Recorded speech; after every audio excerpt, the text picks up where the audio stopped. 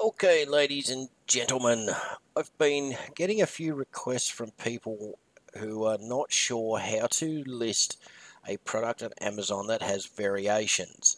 So we're talking about, say, t-shirts, you know, blue, white, black, large, medium, small, etc. Anything like that that has variations to it, or um, it's basically the same product but has variations. So I'm going to do a short little video here and hopefully clarify and help you out with that. First thing you want to do is make sure you have everything ready to go. So I'll click through a few things here. Here is my product description, my UPC.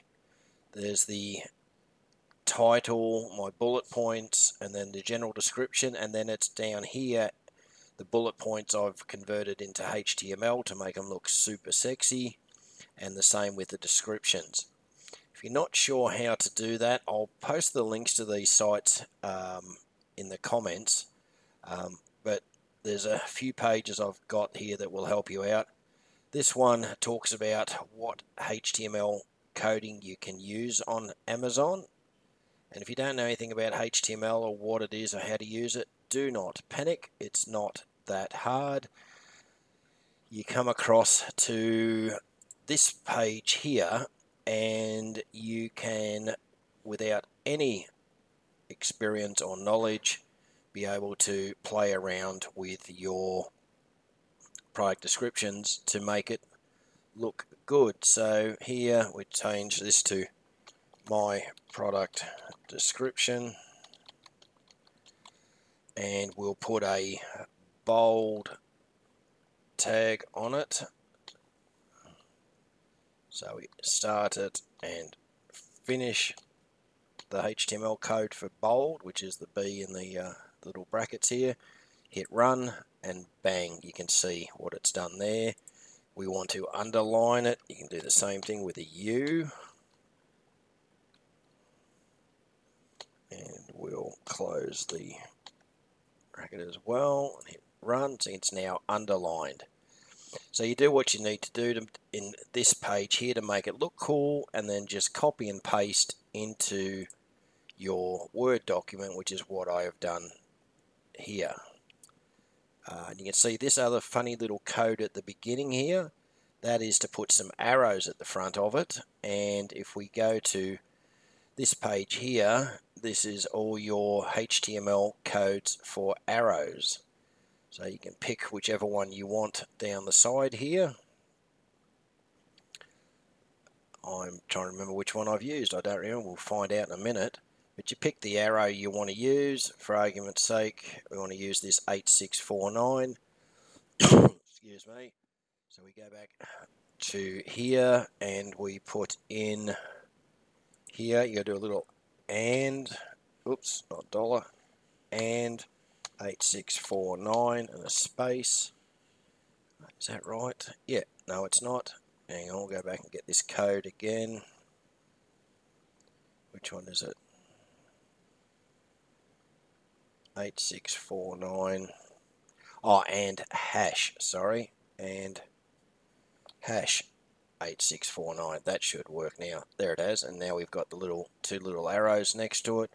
We'll get rid of that underline tag HTML so it's a bit clearer. Hit run again and bang, there we have two little arrows to my product description which is in bold. So you copy and paste that into your Word document ready to go as you create your product. Hopefully that makes sense.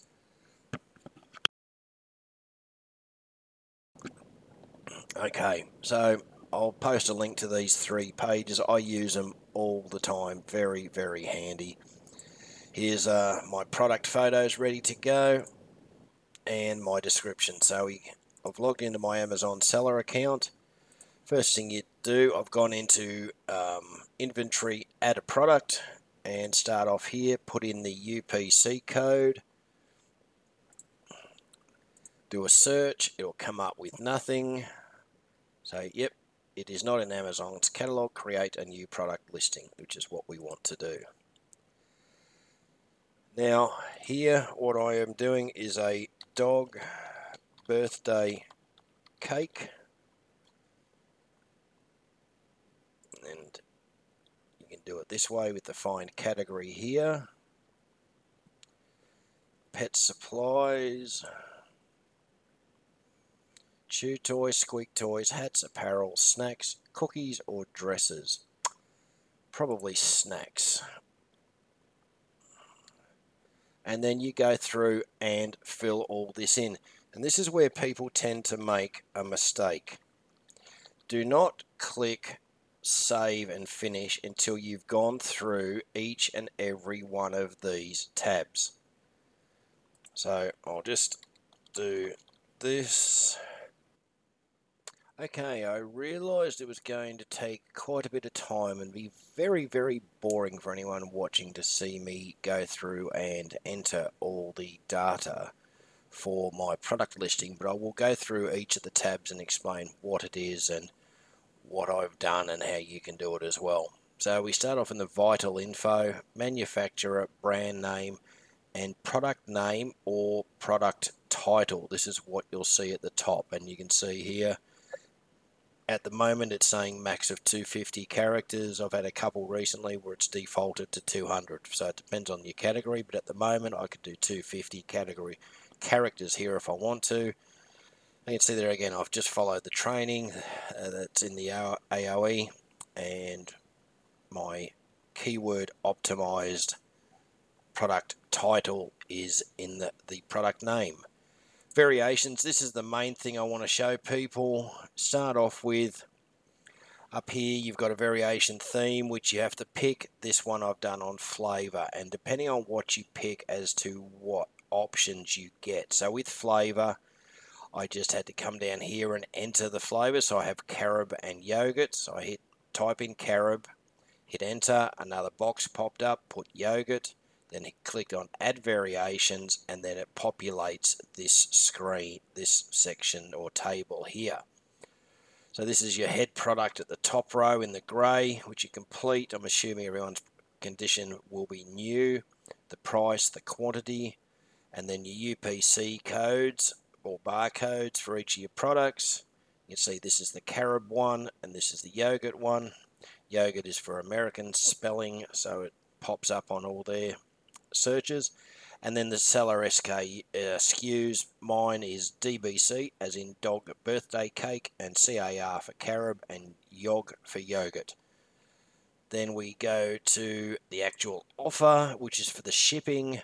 I'm doing FBM or fulfilled by merchant, and it defaults from my seller account shipping default, which is what I've got it set at at the moment with this particular account. If you're doing FBA, obviously, you would tick that one. Images. Uh, haven't got anything too sexy on these. I've got my five images. They've been done correctly. They've all got the white plain backgrounds. I've had to edit them. I'm going to get some action shots going forward, but for the time being, this will do for the tutorial. Then the description. This is where your key product features is your bullet points. And you can see mine here with the HTML in it. So bold, uh, my arrows at the beginning, and then your product description down the bottom here. Again, I've got the HTML, the bold, and then the uh, line breaks to space it apart. Keywords, self-explanatory, search terms, intended use, and target audience. Depending on what category you're in, you'll get different drop downs that you can pick for these. Um, you can pick more, you can pick less. Actually, I'm just going to change something here. I just realized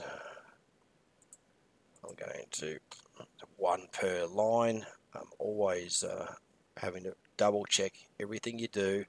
Suggest you do the same. So intended use, chewing and dental, I could add more there if I wanted to. You can see here, get the drop down uh, chewing and dental, we'll put down, what else can we put in?